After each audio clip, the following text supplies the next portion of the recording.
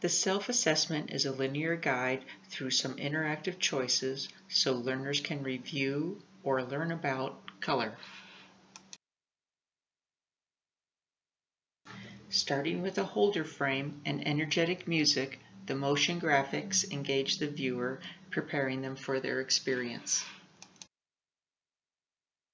The key terms are highlighted in white to make the identification of required tasks easy on the viewer, not adding to cognitive load, but rather lowering it.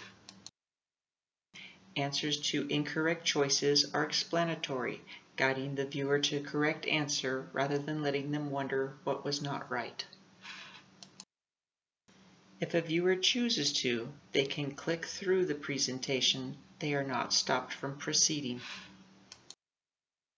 The first three slides ask the viewer to choose specific color relationships. The auditory rewards and explanatory responses continue in this section and the next. The second section asks about terms relating to color, while the last area uses identification to explore the relationships between color. Slide 1 is a hold your slide waiting for face-to-face -face audience to settle in.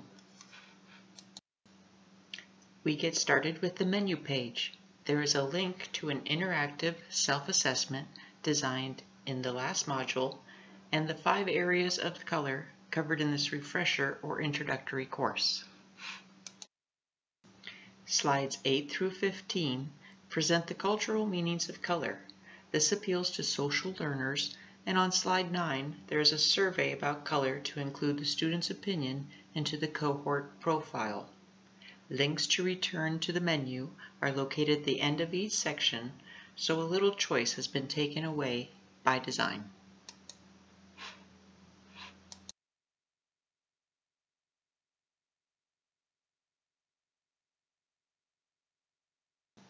Starting with slide 46, is the section on using color in design.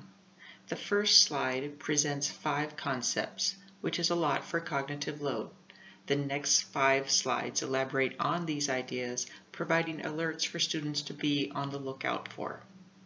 This is an example of pre-training as described as an alternative technique for reducing cognitive load, according to Mayer and Moreno. Using color and design must truly be practiced to become proficient.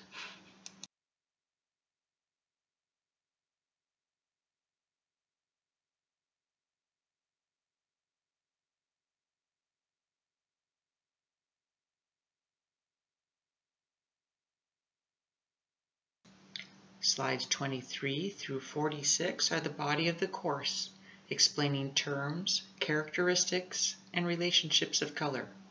Slide 35 has a link to a PDF on creating a color wheel and authentic assessment activity. Slide 36 has links to online color tools for designers. 3D software was used to create an octave of a piano and align the tones of the scale with the colors of the spectrum.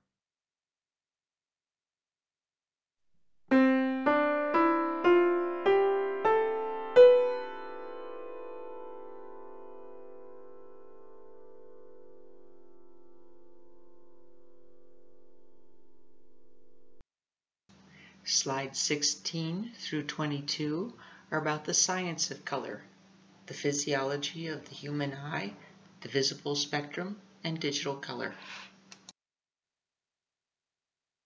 Slide 52 has a link to skin tone exercise that has been done at least five times with students using acrylic paint. These cohorts had a distinctively better quality of characters and fashion designs than previous groups. Slide 58 is a holder for summative discussion with the presentation audience. The last slide explains the application of design in the presentation and prompts social network sharing. Thank you for your time and opinion. I will certainly consider all of your ideas.